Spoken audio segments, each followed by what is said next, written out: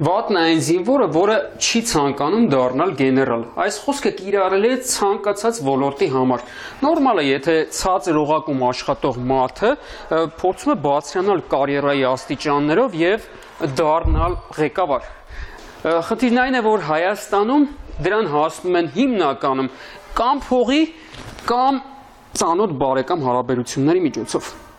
Կարծիք կա սակայն, որ այս գործոններն օրինակ կրթական համակարգում դարձել են ոչ էական։ Այդ համոզմամբ կրթական process ներգրավված տարբեր մասնագետներ, այդ թվում մանկավարժներ, դպրոցի տնօրեն դառնալու ծրագրեր են կազմում։ Մինչև հանրակրթական հաստատության տնօրեն դառնալն անհրաժեշտ է հավաստագիր, որն ունենալու համար պետք է հանձնել քննություն։ Այս մանկավարժները եւս մասնակցել են այդ քննությանը։ Չցանկացան ներկայանալ, քանի որ գործընկերները տեղյակ չեն տնօրեն դառնալու իրենց ծրագրերին։ Շաբաթներ առաջ են մասնակցել քննությանը եւ չեն կարողացել հավաքել անցողիկ միավորներ, ինչի համար մեղադրում են քննիչ հանձնաժողովին։ Քննությունը եղել է գրավոր եւ բանավոր։ Խնդիրներն առաջացել են բանավորից հետո, ասում են մանկավարժները։ Կային մասնակիցներ, որ դուրս էին գալիս լացակումած պատճառը ոչ թե այն էր որ չէին պատասխանել, այլ այն որ հարցեր էին տվել անձնական բնույթի, հոգեբանական ճնշումներ էր եղել եւ թույլ չէին տվել որ մինչեւ վերջ իրենց միտքը արտահայտեն։ Ամբողջ տեսագրության մեջ չկա որևէ մեկը, ում ժամ ու կես մենք քննեինք եւ ով որ դուրս կգար սենյակից լացելով։ Այդպիսի բան չի եղել։ Ասում եմ, հուզվել են ընդամենը երկուսը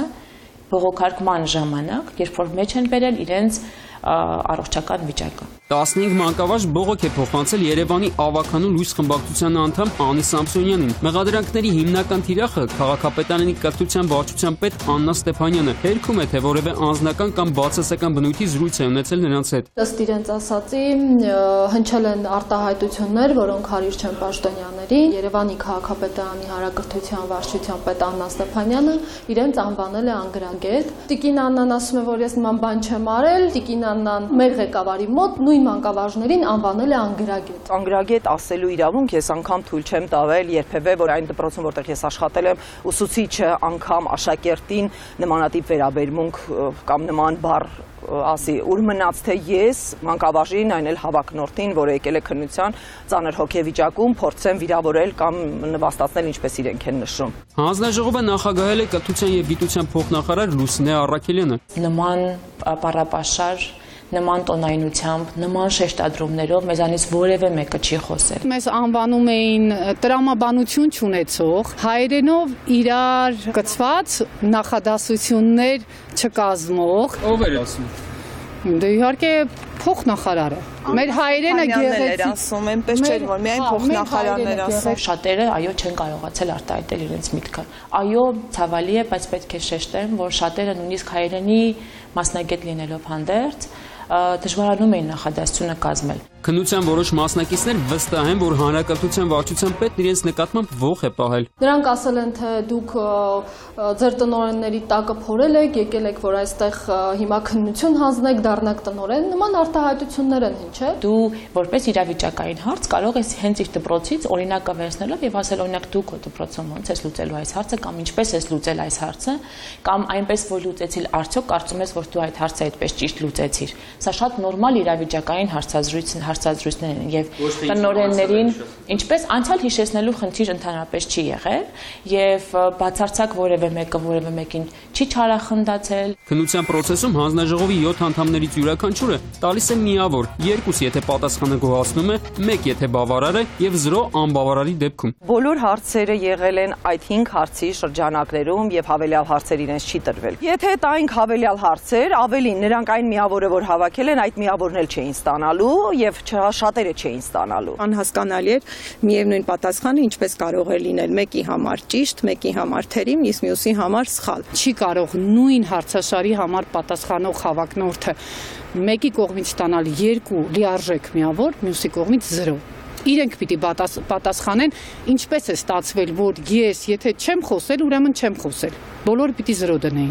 Եթե խոսել եմ, ուրեմն կամ 1 կամ 2։ Դպրոցականներն էլ որ որևէ քննության շեմ չեն անցնում, սկսում են փնովել այս կամ այն մասնագետին կամ փնովել ինչ որ վատ վերաբերմունքի համար։ Մանկավարժները իրենց պահել են ընդամենը աշակերտի նման։ Մարդիկ պատրաստվում են դատարանում բողոքարկել հանձնաժողովի որոշումը, ոչ այդ պահանջել են քննության տեսաձայնագրությունը։ Հայտնաբերեցինք, որ հիշողության լցվելու պատճառով մենք ունենք բողոքողների 7 ձայնագրություն այսինքն 15-ի կեսի ձայնագրությունը արկա է։ Մյուս հատվածը կա տեսագրության մեջ, բայց տեսագրության, ոչ թե տեսաձայնագրության մեջ։ Պնդում են Չէ, ինչ են իրենք ասում։ Ես կարծում եմ մենք Հայաստանում կգտնենք այնպիսի մասնագետ, ով կկարողանա տեսագրության ձայնը վերարտադրել։ Եթե այդտեղում ը, եկար տեխնիկական խնդիր, իրենք պետք է շարունակեին քննական գործընթացը, իրենք պետք է այդ խնդիրը շտկեին եւ նոր շարունակեին։ Երբ ինձ ասում են, որ ձայնագրությունները չկան, ես այդտեղ խնդիր եմ տեսնում արդեն։ Դպրոցների ղեկավարման հավաստագրի քննություններն անցկացնող հանձնաժողովի անդամ է եղել նաև Անահիտ Բախշյանը։ Նրա խոսքով բանավոր հացեր տալիս են, որպեսզի պարզեն քննություն հանձնողների իրական գիտելիքները։ Գրավորը իրենք անգիրանում են գալիս են որոշները։ Իսկ երբ իրավիճակային հարցեր են բանավորի ժամանակ տրվում, բարձվում է, որ ինքը այդ օրենքը այնտեղ գրավորի մեջ ճիշտ դրել է, բայց այս պարագայում ինքը չի կարողանում ասել թե որ օրենքը կամ ինչը, կարգը եւ այլն Ըստ նոր կարգի դպրոցի տնօրենը մի քանի տարին մեկ պետք է այս քննությանը մասնակցի, որպեսզի շարունակի պաշտոնավարել։ ինչ որ մի բա էլի նախորդ նախարարի կողքից այսպես հրահանգ է եղել որ եթե գրավորը հանձնում են մեղք են տնորենները ինչ է չարչարում ուրեմն բանավորը թեթևի է ինչպես կարող են այդ մարդիկ խոսել քննության հակառակ եթե իրենք ամբողջ կյանքում աշակերտին ասում են սովորի քննություն է տալու Արդյունքում ի հայտ են գալիս դպրոցների ղեկավարներ, որոնք մեղմ ասած կոմպետենտ չեն։ եղել է դպրոցի տնորեն, տնորեն է գործող, ով չգիտեր իր դպրոցի բյուջեն որքան, ով չգիտեր թե դպրոցի պահպանման համար ամեն տարի ինչքան գումար է պետությունը հատկացնում իրեն։ Դպրոցների ղեկավարման հավաստագրի քննությունները շատերը համարում են միջոց ձերբազատվելու այն տնօրեններից, որոնք պատշաճ չեն կարողանում կազմակերպել կրթական գործընթացը։ Դպրոցում ինչ որ փաստի հետ կապված քրեական գործ հարուցված կա։ Այդ տնորենները բոլորը ստացել են հավաստագիր։ Օրենքը ուրեմն լավ գիտեն, բայց այդ օրենքի կիրառման ժամանակ process-ում իրենք թույլ են տալիս խախտումներ ու շարունակում են աշխատել այն դեպքում, երբ որ կա հավաստագրի յետ կանչման մեխանիզմ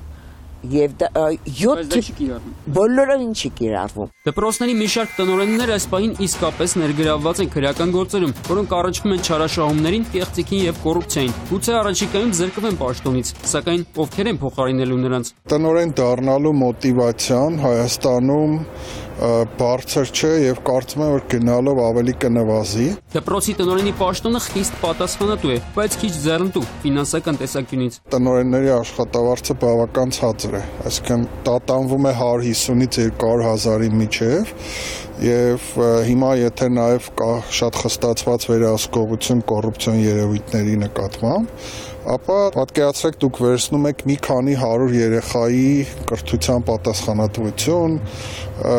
մի քանի տասնյակ ուսուցիչների հետ պետք է աշխատեք եւ ունեք ընդհանրապես այսպես չնչին աշխատավարձ Սերոբ Խաչատրյանի կարծիքով հետաքրքիր է Սինգապուրի օրինակը, որտեղ դպրոցների տնօրեններն օրենքով ունեն առաջընթացի հնարավորություն եւ շերտավորված են, կախված ցույց տված արդյունքներից, ինչը խթան է կրթական process-ն ավելի լավ կազմակերպելու եւ նորարարական մեթոդներ ներդնելու համար։ Արմեն Աթալյան, Վահան Գուլոյան, Զոհրաբ Կարամյան, Սուրանկյուն։